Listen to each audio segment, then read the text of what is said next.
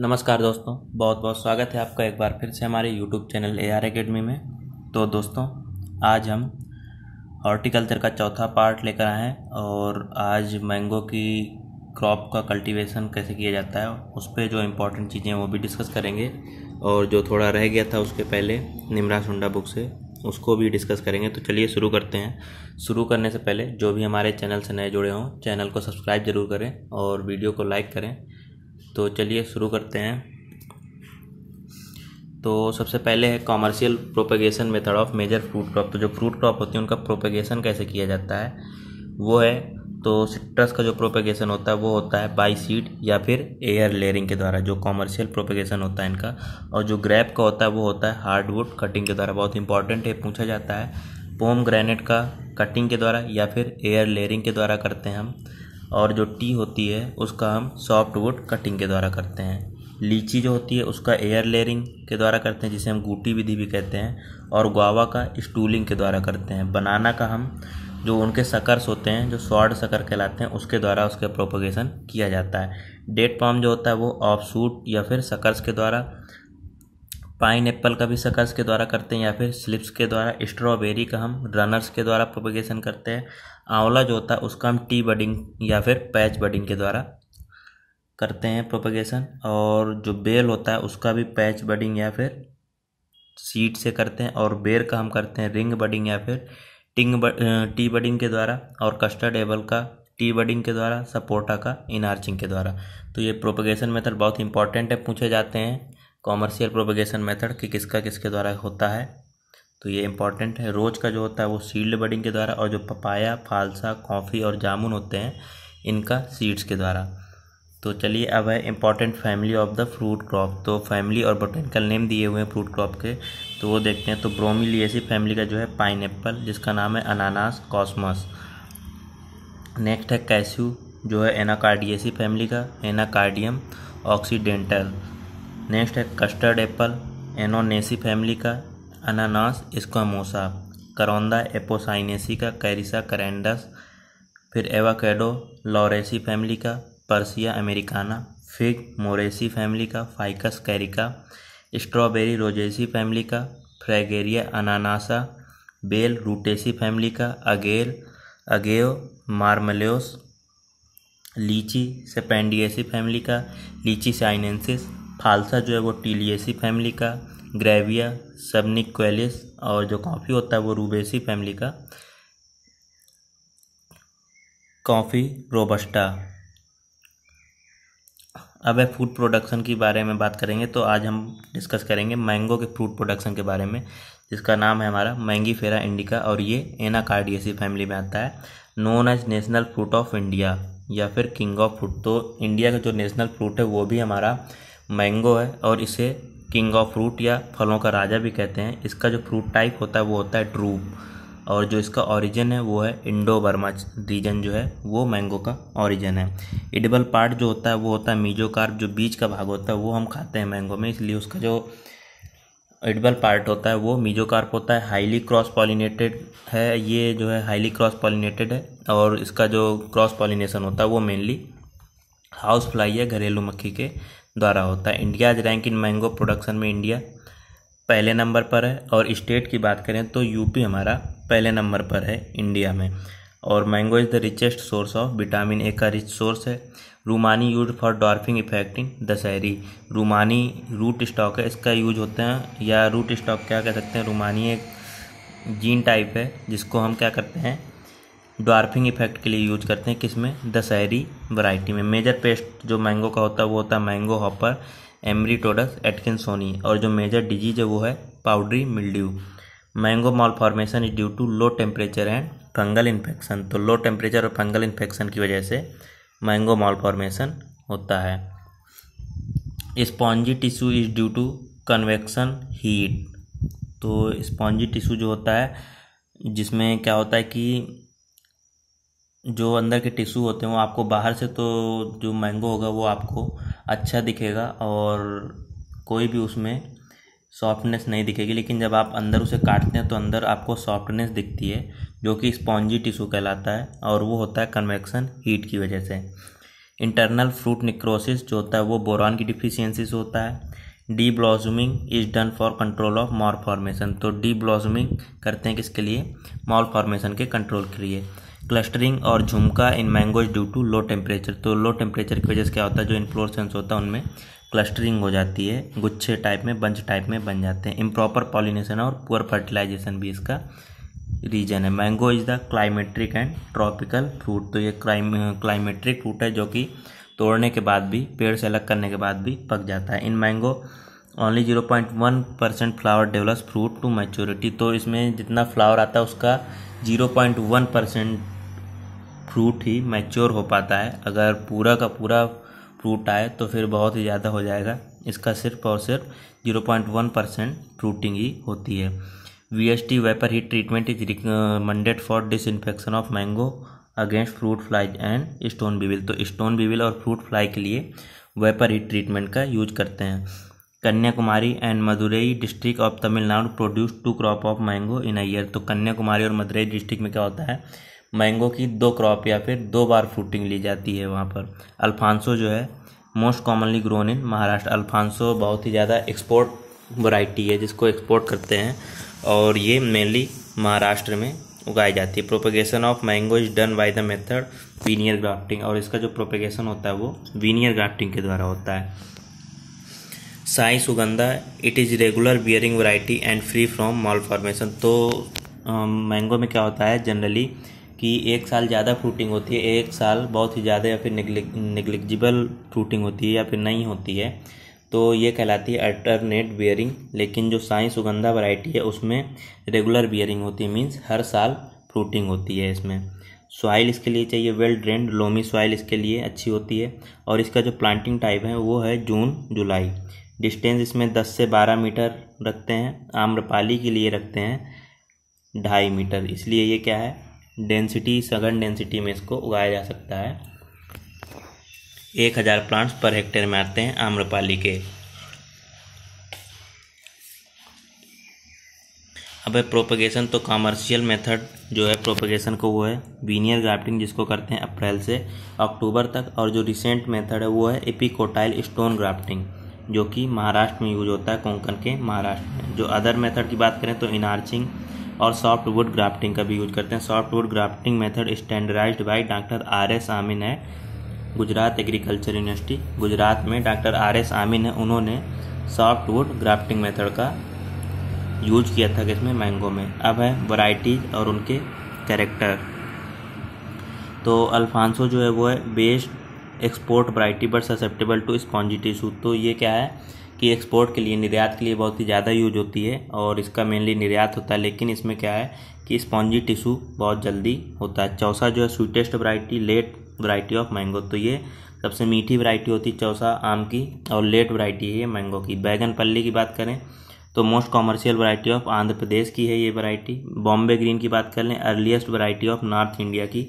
Early variety है Kesar it has good processing quality तो इसकी प्रोसेसिंग क्वालिटी बहुत अच्छी होती है और ये गुजरात में पॉपुलर है। लंगरा की बात करें नॉर्थ इंडियन वैरायटी है ये भी और ये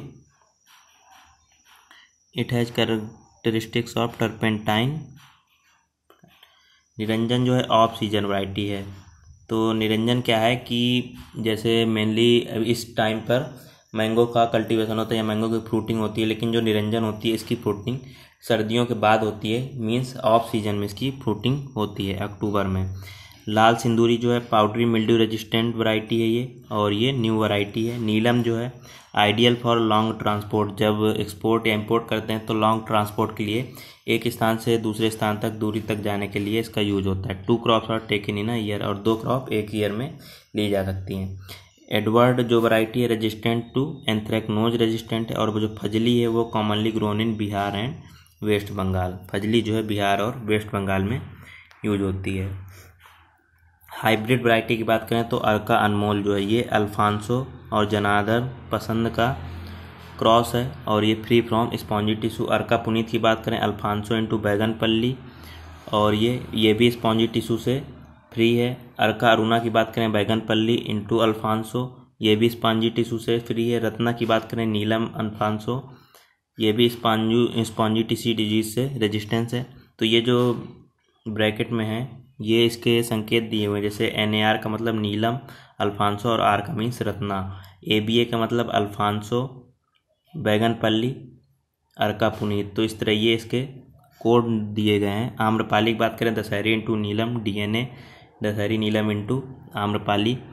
Dwarf susceptible for high density planting के लिए आम्रपाली का यूज़ होता है ढाई इंटू ढाई मीटर स्क्वायर में इसकी जो है प्लांटिंग होती है। सिंधु जो है Ratna Alphonso first seedless variety in the world तो ये क्या है? सीडलेस वराइटी है आम की। मल्लिका की बात करें तो Neelam into Dashehari. High vitamin content होता है इसमें। साई सुगंधा की बात करें तो तोता परी इंटू केसर। और ये new hybrid variety of mango तो इसमें सबसे ज़्यादा इंपॉर्टेंट आपकी आम्रपाली वैरायटी है, क्योंकि हाई डेंसिटी प्लांटिंग के लिए पूछा जाता है कौन सी वैरायटी यूज़ होती है।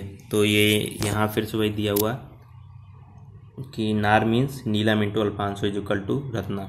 अब है टाइप ऑफ़ मैंगो वराइटीज़ तो नॉर्थ इंडियन वराइटी की बात करें these are alternate bearer mono embryonic और सेल्फ इनकम्पेटेबल तो नॉर्थ इंडियन वराइटी ज़्यादातर क्या होती हैं?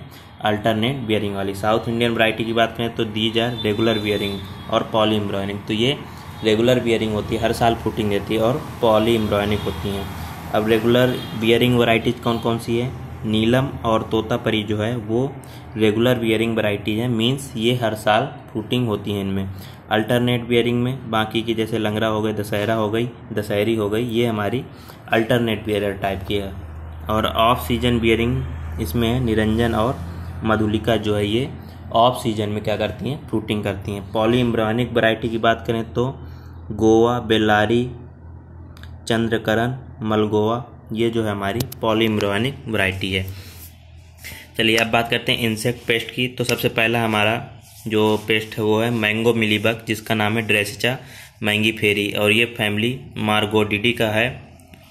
It is major pest of mango तो ये मेजर पेस्ट है मैंगो का। Nymph and adult suck the cells sap from leaves and tender trunk. तो लीव्स जो होती हैं, पत्तियाँ होती हैं और जो टेंडर ट्रंक्स होते हैं, वहाँ से इसके निम्फ और एडल्ट क्या करते हैं, जो सेल सेप होता है, उसको सक कर लेते हैं। इसके मैनेजमेंट के लिए एल्काथेन बाइंडिंग करते हैं। Thirty to forty five centimetre wide and thirty centimetre above ground तो इसमें क्या करते हैं ट्रंक में ही हम क्या कर देते हैं बैंडिंग कर देते हैं और स्प्रे या फिर स्प्रे कार्बाइल करते हैं। तो बैंडिंग जो करते हैं, एक स्टिकी होता है और इसमें क्या होता है कि वो ऊपर को चढ़ नहीं पाते हैं जो इसके निम्फ और एडल्ट होते हैं। मैंगो हॉपर्स की बात करें तो एमरीटोडस एटकिन इसमें भी क्या करते हैं, निम्फ और एडल्ट जो है सेल सेप को सक करते हैं। स्टेम बोरर की बात करें, बैक्ट्रोसेरा, रूफो मैकुलाटा, फ्रूट फ्लाई जो होता है, Bactrocera dorsalis, use vapour heat treatment. इसके लिए वेपर हीट ट्रीटमेंट का यूज़ किया जाता है, क्योंकि मैंगो का क्या होता है, एक्सपोर्ट होता है और फ्रूट फ्लाई उसमें बहुत ही ज़्यादा नुकसान कर देती है। स्टोन बीविल स्ट्रेनोचेटस मैंगी फेरी और इसमें क्या यूज़ ऑफ़ इरेडिएशन करते हैं। This is quarantine important pest तो ये क्वारंटाइन के लिए बहुत ही इंपॉर्टेंट पेस्ट है। डिज़ीज़ की बात करें तो सबसे पहला है पाउडरी मिल्ड्यू सबसे इंपॉर्टेंट है ये मैंगो के लिए। ओडियम मैंगी फेरी ये सीवरी ड्यूरिंग फरवरी और मार्च में क्या होता है, इसका जो प्रकोप होता है वो ज़्यादा होता है। इसके लिए हमें क्या करना चाहिए karathane zero point one percent का स्प्रे करना चाहिए। नेक्स्ट है एंथ्रेक्नोज जो है Colletotrichum gloeosporioides severe in humid and high rainfall area तो ह्यूमिड या नमी वाले एरिया में, या फिर जहाँ पर ज़्यादा रेनफॉल होता है, वहाँ पर इसका अटैक भी ज़्यादा होता है। नेक्स्ट है मैंगो मॉल फॉर्मेशन जो कि फ्यूजेरियम मॉनली फॉर्मी वराइटी सुगुलटियनाना के द्वारा होता है। और वेजिटेटिव एंड फ्लोरल मार्फॉर्मेशन तो इसमें भी क्या होता है कि जो इन्फ्लोरसेंस होते हैं, उनकी बंचिंग हो जाती है। या फिर क्लस्टरिंग हो जाती है, इसलिए बंची टॉप अपेरेंस वहाँ पर होने लगता है। It is a serious problem in north India और नॉर्थ इंडिया में इसका अटैक ज़्यादा होता है, जैसे पंजाब, दिल्ली और UP Bombay green and Chausa are more susceptible और बॉम्बे ग्रीन और जो चौसा होती हैं, उसमें ये ज़्यादा होता है। इसके मैनेजमेंट के लिए क्या करनी चाहिए? प्रूनिंग करनी चाहिए, जहाँ पर क्लस्टरिंग आपको दिखे, उस ब्रांच को आपको रिमूव कर देना चाहिए, उस इन्फ्लोरसेंस को रिमूव कर देना चाहिए और स्प्रे की बात करें, केमिकल की बात करें तो मैंको जेब का स्प्रे करना चाहिए या फिर एनएए भी इसके लिए यूजफुल है नेफ्थलीन एसिटिक एसिड या प्लानोफिक्स के नाम से आता है मार्केट में। 200 ppm का इसका क्या करना चाहिए? बड स्टेज पर हमें स्प्रे करना चाहिए तो ये भी एक इंपॉर्टेंट क्योर है इसका। अब है फ़िज़िकल डिसऑर्डर कौन कौन से होते हैं? तो इसमें होता है पहला black tip due to the deficiency of boron boron की कमी से ब्लैक टिप होता है near brick kilns distal end of affected fruit get turn black and become hard end. तो आपने देखा होगा, आम के नीचे जो डिजिटल इंड होता है मीन्स नीचे वाला टिप होता है जो, वहाँ पर क्या होता है, थोड़ा ब्लैक स्पॉट बन जाता है, जिसे एक प्रकार से गाँव में कोयली रोग भी कहा जाता है। तो ये इसी वजह से होता है कि जो धुआँ होता है हमारे ईंट के भट्टों का, उसकी वजह से ये होता है और बोरान की डिफिशियंसी से भी होता है।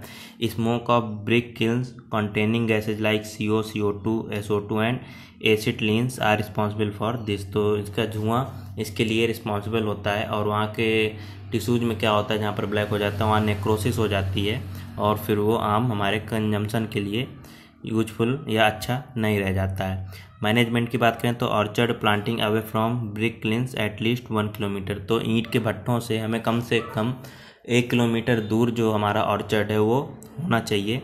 थ्री स्प्रे ऑफ़ बोरा बोरैक्स अगर बोरान की कमी से भी होता है तो इसमें क्या करते हैं कि borax zero point six percent की तीन स्प्रे भी करते हैं। एक बिफोर फ्लावरिंग फ्लावरिंग के पहले, दूसरा फ्लावरिंग के टाइम, ड्यूरिंग फ्लावरिंग, और तीसरा फ्रूट सेटिंग के टाइम। बोरेक्स में जो है हमारा 11 परसेंट बोरान पाया जाता है। नेक्स्ट जो डिसऑर्डर है वो है spongy tissue due to soil heat convection तो इसमें क्या होता है? सॉइल हीट कन्वेक्शन की वजह से या हाई टेम्परेचर की वजह से स्पॉन्जी टिश्यू हो जाए। ये मेजर प्रॉब्लम होती है कि इसमें अल्फांसो जो वैरायटी है, उसकी ये मेजर प्रॉब्लम है। Fruit from outside look normal but in side a patch of flesh become spongy yellowish तो बाहर से तो आपको नॉर्मल दिखेगा फ्रूट हार्ड रहेगा।